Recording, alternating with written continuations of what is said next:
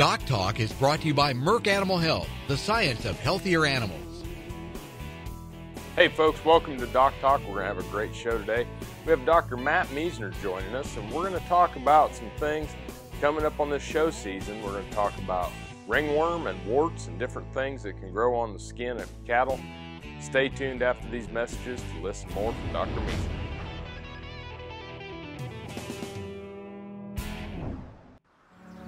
As dependable as the sunrise, in dairy parlors, open pastures, on ranches and feed yards across America. A place where reputation is more than a name, where the science of healthier animals is a way of life. It's the responsibility that drives who we are and what we do. Every decision, every day. It's your livelihood and our responsibility. Closed caption brought to you by AgriLabs, the perfect pairing of performance and value.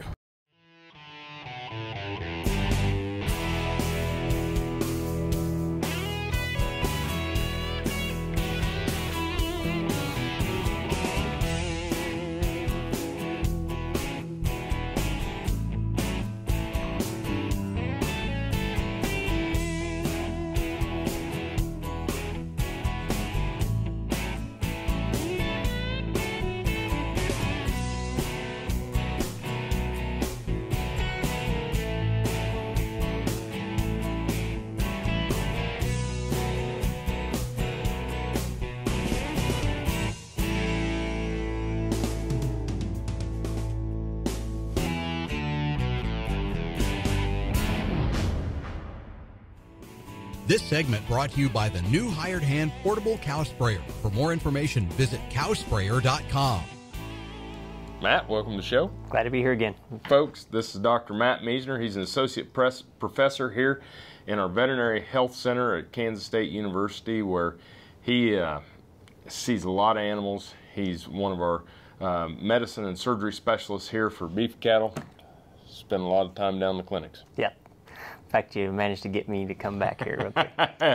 we kind of had to snag him away from a case, actually, leading right into what we're doing today. And we're going to talk about warts and ringworm, but we thought we'd start out by talking about some wart issues. And I didn't realize there's so many different types of warts. Yeah, I think that people researching these kind of things in cattle, we, we see everybody thinks, well, I got warts, and uh, but the, the research showing up to 15, 16 different strains of just bovine specific papillomavirus or, or uh, types of virus that causes warts in cattle. So a lot of them. And so they're not all created equal, that's for sure. And you're talking about you can, you can get them all kinds of different places. Sure. And so each of those strains generally have a specific area they like to grow in. And uh, so you got a bunch of different skin types, which we're, we're used to seeing these big old giant uh, tumors looking on, on cattle some that are specific for the reproductive tract, the penis on bulls, the, the reproductive areas on cows. Um, we've got areas that tend to like to form in the esophagus and the intestines,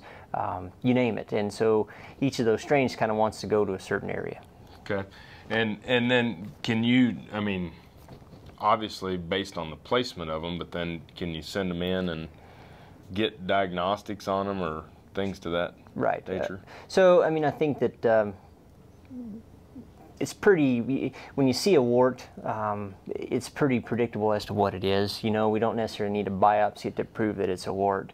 Um, what we see is sometimes more of the clinical problems with those types of things. And so, you know, the, they can get out of hand or they can cause uh, bleeding in certain areas, especially the reproductive tract that hinders uh, sterility in bulls if you've got blood in your in your uh, in your semen with that kind of thing. Um, so we don't really need to necessarily biopsy to prove it, um, but certainly there's some things that it could be, and so occasionally we'll look at them and and uh, maybe this wart is characteristic of some other type of a tumor, you know, and so we may want to, but most oftentimes warts are pretty predictable. You mentioned that these are caused by viruses, papillomavirus and and so it lends me you know we have pretty good vaccines against viruses. Can we have vaccines against warts? Yes. And there is uh, at least one licensed vaccine against warts. And when I mentioned there's so many different strains of that wart, uh, this vaccine tries to incorporate as many types as possible. And actually, the company um, we'll solicit submissions from veterinarians or producers uh, to try to get more strains. Okay, um, so this is only one that does it. It tries to encompass all of these, and so as vaccines would be, um, sometimes it's effective, sometimes it's not. But that's about the only way to, to truly get uh, some sort of immunity against the virus. And you said that's in Colorado. Well, the the company is Colorado Serum Company, and I'd have to remember where it's from, but um, that's that's the one vaccine that I know of. Cool. Well, many different types of warts. Best prevention is going to be a vaccine, Colorado Serum Company. We're going to come back a little bit and talk with Dr. Miesner about how we're going to treat cattle, how long it takes for, for the clinical signs to go away or for the warts to, to be gone. Uh, thanks for watching Doc Talk. More after these messages.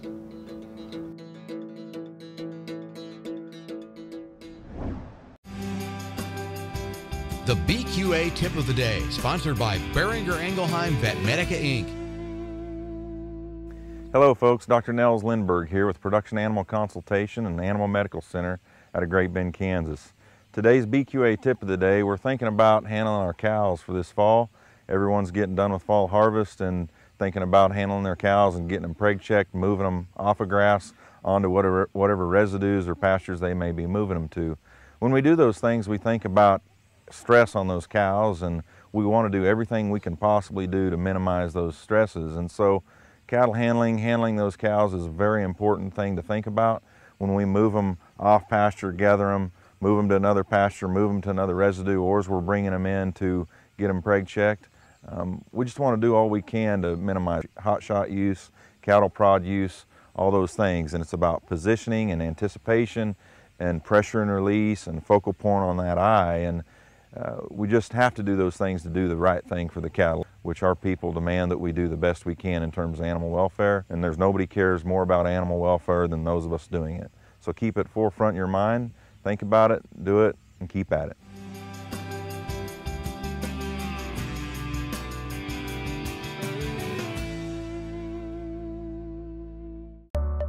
Say this is a calf that's been run through the chute a few too many times. Going through the chute stresses cattle, causing them not to eat like they should. Luckily, Pyramid 5 plus Presponse SQ provides proven protection against key respiratory diseases in a single shot, with just one trip through the chute. Talk to your veterinarian about Pyramid 5 plus Presponse SQ, and soon your calves will relax and eat like a whole different animal.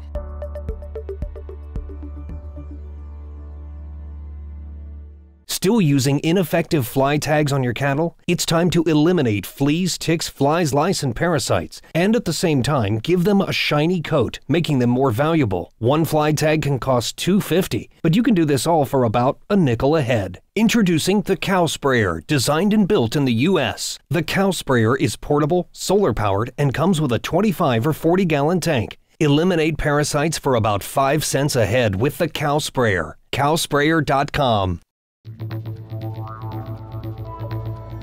Do your cattle struggle with pink eye, BRD, or another disease? Contact Newport Laboratories for a customized solution. Our custom made vaccines are produced using the specific diseases found in your area. These USDA licensed vaccines offer potential cost savings on vaccine and labor. Contact your veterinarian or Newport Laboratories the next time your cattle are in need of a custom solution. Newport Laboratories custom made vaccine because every situation is different. This segment brought to you by the new hired hand portable cow sprayer. For more information, visit cowsprayer.com.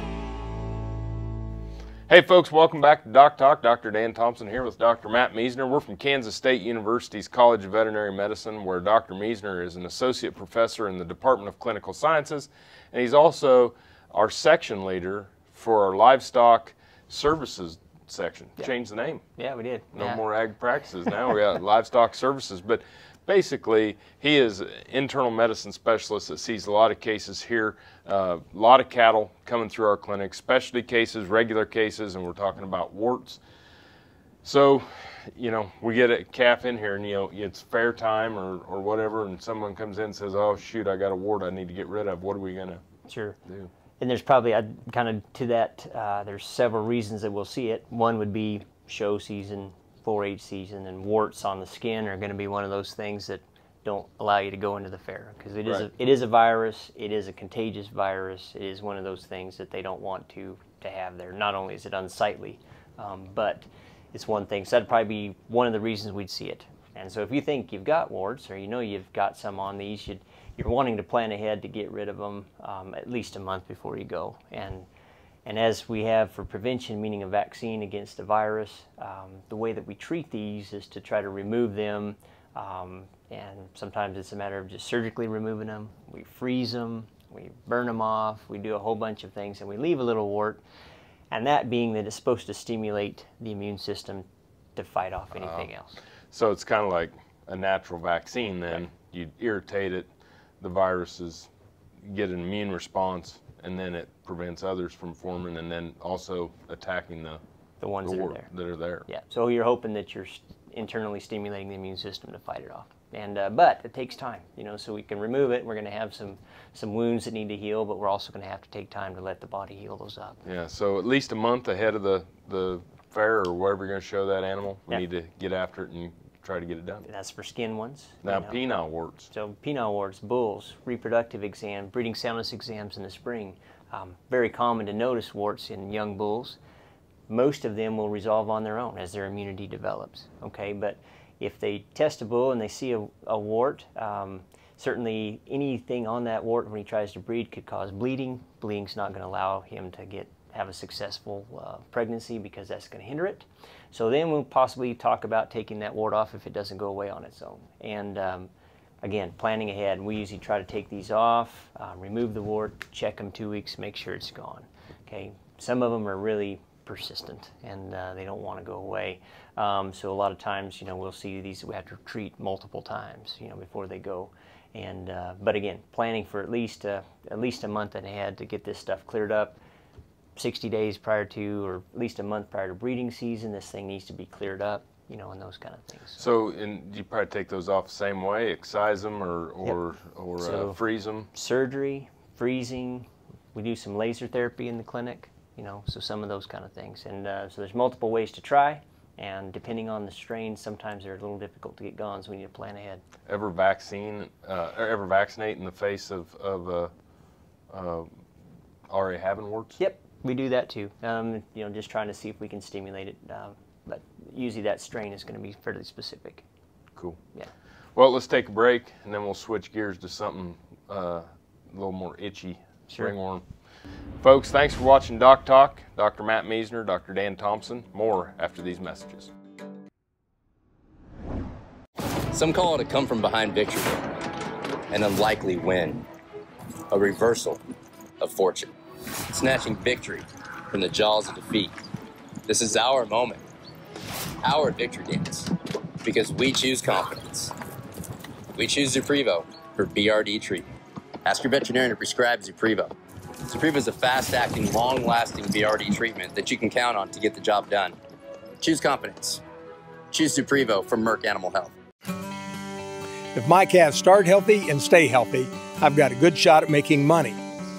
That is why I trust Colostrix. It gives my calves the protection they need until their own immune systems kick in. Calf raisers trust Colostrix colostrum supplements. Colostrix is USDA licensed and proven effective. When your money is on the line, trust Colostrix.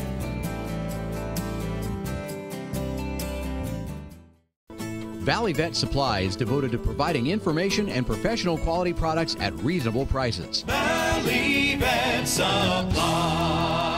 Hey folks, welcome back to Doc Talk. Dr. Dan Thompson here with Dr. Matt Miesner, who is an associate professor and the section head of livestock services, our, our practice here at Kansas State University's College of Veterinary Medicine. Does a lot of work teaching, is nationally acclaimed, and, and does a lot of speaking out there at veterinary meetings. Uh, glad to have you on the show. Grab you out of the right when he's heading out of the, the clinics in the truck to go work on a case. Uh, said, "Hey, you mind shooting this real quick?" But anyway, um, ringworm. Yeah, another fun one. And I apologize. Yeah, I didn't have time to go through makeup and hair today, so uh, um, not a big deal. Um, ringworm's another one of those skin problems, and when we had we talked a little bit in the past about warts and ringworm. Um, gets a name of worm, but it's actually a fungus. Okay, um, and it can sometimes look like warts because sometimes it gets kind of a crusty surface to it, you know. So, uh, but ringworm is actually not a worm; it's a fungus, and it's a contagious fungus. It's another one of those skin things that'll keep you out of the fair um, because they don't want to have that type of a, of a, of a contaminant in the environment or on other animals to, to create other problems. Mainly contagious cattle to cattle, but there could be some issues, you know, where it could be zoonotic, right? Right. Or, or from cattle to people. Yeah, so sure. I mean, it can go from critter to critter, um, from critter to post to critter. Um, it can go critter to you to critter, and it can go. Some species of ringworm in in animals can be transmitted to people to cause clinical problems, some some severe itching and other things. And some people are more susceptible to it than others. But um, ringworm, you know, some of this are again a bunch of different species of ringworm, um, and uh, a lot of them are species specific. And cows generally get cow types, and goats and cats, and but um, some of those species are certainly zoonotic to you Oh, too. I've had clients come in and had ringworm on a cat, and then you look at their arms and Yeah, just it's on their arms or wherever they're holding that cat. Yeah, just um, it's- be careful. yeah, it's not pretty. um, and then, uh, you know, there's you said there's no vaccines for this. Right. So unlike the warts or other skin things where we're, we've got a, a typical virus, um, a fungal type situations like this, there's really no preventive um, mechanism like a vaccine for it. Um, it's just it's one of those things you either clear it or we treat it and take care of it So they're picking it up where? in the environment. And so again, usually it's an an animal that's had it. They're carrying it. They're they're contaminating the environment with it, and it can it can reside in various areas as long as it's in the right environment. It can it can last, and an animal can rub up against a post or a gate or anything and manage to get it uh, in, that situation too. So we're going to look at at uh, you know prevention. Basically, is going to be if you have an animal, you're going to isolate it, and then the rest of it's taking care of the environment and making sure that that we get it cleaned up. Sure. Yeah, you'd want to. I mean, you know, a lot of areas will be self cleaning and get sunlight and those kind of things, but moist, dark areas and and a bunch of crevices can hold it, and, and then you got to be careful with that kind of a thing. You think about some of the show cattle that we keep in inside or keep them in cooler boxes, uh, things of that nature. Yep. We might want to disinfect or scrub down those cooler boxes. Right. Yeah. Yeah, those kind of things. And then again, be careful with on on those, um, but moist, dark areas and Wear gloves. wear gloves. All right, let's take a break. Folks, you're watching Doc Talk. Dr. Matt Miesner here. When we come back, we're going to talk about how to treat ringworm after these messages. Did you know long range planning through the checkoff can help keep your business profitable? To successfully pass on cattle operations from one generation to the next, it's important to promote beef and keep farms and ranches profitable. Your beef checkoff helps do that. I'm Tom Perrier. Our ranch is called Dale Banks Angus. Dale Banks is not a person, but it's a place. Uh, this ranch was started by my uh, great grandfather. He came from northwest England, and his farm there was called Dale Banks, and so he called his ranch here in the Flint Hills Dale Banks. The beef checkoff today has fulfilled a lot of needs that our industry had over the years. Uh, we were very involved in trying to get the beef checkoff passed back in the 70s and early 80s because we saw the need then, and the beef checkoff, I think, has fulfilled a lot of those needs. I think some of the, the biggest bonuses that we've gotten from the beef checkoff in the last 20 years have been twofold, both in the research uh, phase of the industry, one being the Beef Quality Assurance Program that showed us just how much money we could capture by simply doing things like moving the injection sites from the hip and, and rump of the animal up to the neck where we had less high valued cuts. That drove millions of dollars into our industry. The other thing that our beef industry did about 15 years ago was uh, embark on new product development. Things like the flat iron steak and things that used to get ground into hamburger and low, other low valued cuts today are sold for a premium. And that too, just like the Beef Quality Assurance Program, has driven uh, huge dollars into our industry that we all get to share. Matt's the primary uh, driver behind the operation right now, and uh, he's the sixth generation, and his children will be the seventh generation. I hope our kids are better at telling our beef industry's story. I think the last several years the Beef Checkoff has shown us how to do that better. They've given us some tools to do that. So we need to do a better job of telling the wonderful story that we have, and I hope our kids can continue to do that. It's easy to spot the man who uses Synanthic. With lower volume and less waste, Synanthic steps up your deworming routine.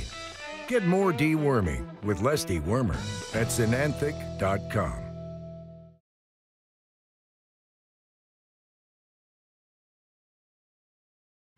Boehringer Ingelheim Vetmedica Inc. knows the importance of beef quality assurance and asks you to step up and get certified. Go to bqa.org for details. Parasites will lose you more money than any other disease out there besides infertility. So, you know, parasites is something that we have to control, and that's what VetGun does for us. It's tough out there on a ranch, but with the ease of the vet gun, it's a one-man operation. And whenever you can get one thing to work out great throughout that day, it just makes my life a little easier.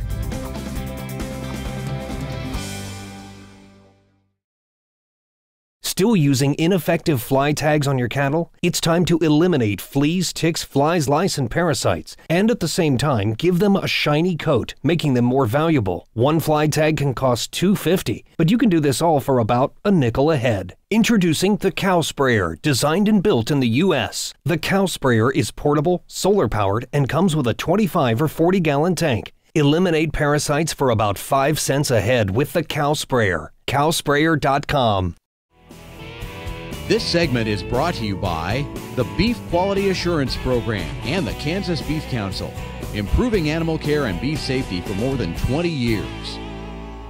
Hey folks, welcome back to Doc Talk. I'm here with Dr. Matt Miesner, who's an associate professor in the Department of Clinical Sciences and the section head of the Livestock Veterinary Services here at Kansas State's Veterinary Health Center. We're talking about ringworm and the fungus among us and and you know when we get dogs and cats and people there you know we can use some not just topical things but we can actually treat them with with antifungals systemic antifungals and that we don't do that much in beef cattle Don't do it much in cattle, and, and the reason being is it's uh, fairly expensive.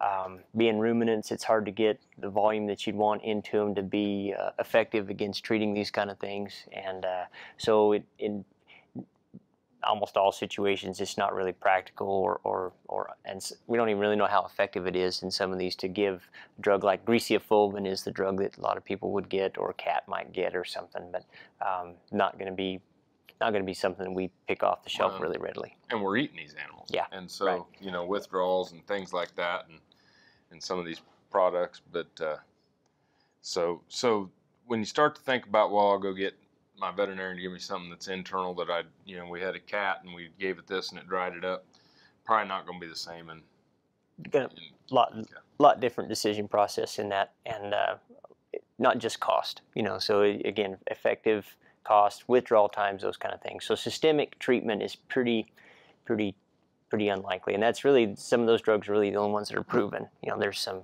um, theoretical treatments with iodides and iodines and other treatments that have really not been proven. Um, certainly have their own side effects um, that, that that have been attempted, but really not proven. The only things that you can really do for these are treat them topically, clean them, betadine type things, and, and sun drying. You know, there's Okay. there's been a bunch of witch magic out there with uh, flower treatments. Uh, I'm not going to mention names on these because it's not right, but there's been some things that um, diesel solvents and a bunch of different things to try to dry these out that have been tried, again, not proven, um, and maybe more irritating than, than good. Um, but uh, there's a bunch of ringworm is it creates a bunch of desperation because it's a hard one to get rid of, and so And I think that you know the other thing is, as you mentioned earlier, fungus or ringworm in humans versus cats versus dog and cattle can all be different. And so trying to buy all over-the-counter stuff for humans isn't going to probably work on cattle. Again, getting back to iodine scrub, cleaning it, and getting it out in the sunshine and, and drying them out. Yeah. A lot of them self-resolve. Yeah, a lot of them will clear up on their own. Um, and I think a lot of it has to do with the individual's immune system. You know, some people are more susceptible to it. Some cattle are, are having trouble getting rid of it, and it has to do with just some of their their immunity or ability to, to fight it off on their own. And so that's that's something we kind of keep in the back of our mind as well. Wow, it's been a great show.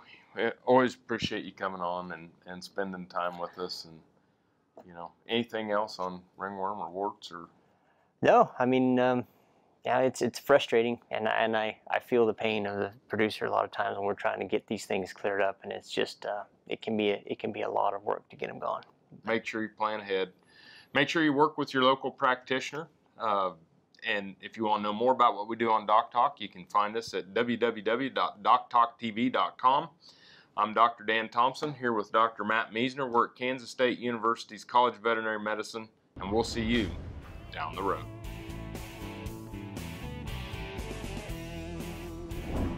Closed caption brought to you by AgriLabs, the perfect pairing of performance and value. For more information about this program or previous programs, go to DocTalkTV.com. Doc Talk was brought to you by Merck Animal Health, the science of healthier animals.